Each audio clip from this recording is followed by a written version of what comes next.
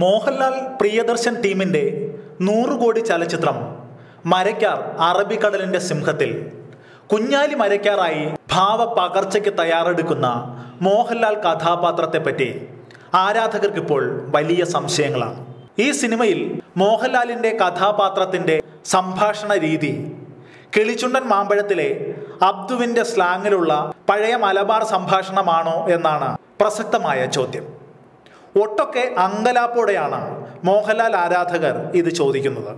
കാരണം ശരിക്കും മനസ്സിലാകാത്ത ഈ സംഭാഷണത്തിന്റെ പോരായ്മ കൊണ്ട് ദുരന്തമായി മാറിയ ചിത്രമാണ് കിളിച്ചുണ്ടൻ മാമ്പഴം. പക്ഷെ ഈ ചോദ്യത്തിന് പ്രിയദർശന്റെ മറുപടി രസകരമാണ്. കുഞ്ഞാലി മരയ്ക്കാരുടെ ചരിത്രം പുനരാവിഷ്കരിക്കാനുള്ള ശ്രമമാണ് ഈ ചിത്രമെങ്കിലും. ഇത് പ്രേക്ഷകർക്ക് വേണ്ടിയുള്ള സിനിമയാണ്. മാസ് ആക്ഷനും സാഹസിക രംഗങ്ങളും മനോഹരമായ ഗാനങ്ങളും ലൊക്കേഷനും ഒക്കെ തയ്യാറാക്കിയിരിക്കുന്നതിനൊപ്പം ജനപ്രിയമായ സംഭാഷണ രീതിയും ഇതിലുണ്ടാകും. ചരിത്രത്തെ അതേപടി ആവിഷ്കരിക്കുമ്പോൾ അതൊരു ഡോക്യുമെന്ററിയാണ് അതേസമയം മരക്കാറിൽ ഞങ്ങൾ ചെയ്യുന്നത് കുഞ്ഞാലി മരയ്ക്കാറുടെ ജീവിതത്തോട് നീതി പുലർത്തുന്ന എന്നാൽ സ്വതന്ത്രമായ ഒരു കഥാഖ്യാനമാണ്.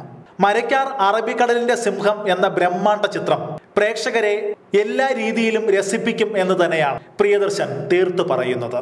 മലയാളത്തിലെ ഏറ്റവും ഉയർന്ന മുടക്കു മുടക്കുമുതലിൽ ഏറ്റവും വില കൂടിയ നടനെ വച്ച് അവതരിപ്പിക്കുന്ന മരക്കാർ അറബിക്കടലിന്റെ സിംഹം എന്ന ചലച്ചിത്രം. ഒരു കൈവിട്ട കളിക്ക് നിൽക്കുന്ന സിനിമയല്ലെന്നും മൂന്ന് മണിക്കൂറോളം പ്രേക്ഷകർക്ക് ആവേശത്തോടെ കണ്ടിരിക്കാവുന്ന ചലച്ചിത്രമായിരിക്കുമെന്നും ഉറപ്പു പറയുകയാണ് പ്രിയദർശൻ. ഈ വിഷയത്തെക്കുറിച്ച് നിങ്ങൾക്ക് പ്രതികരിക്കാം. നിങ്ങളുടെ കമന്റുകൾ ഈ വീഡിയോയ്ക്ക് താഴെ രേഖപ്പെടുത്തൂ.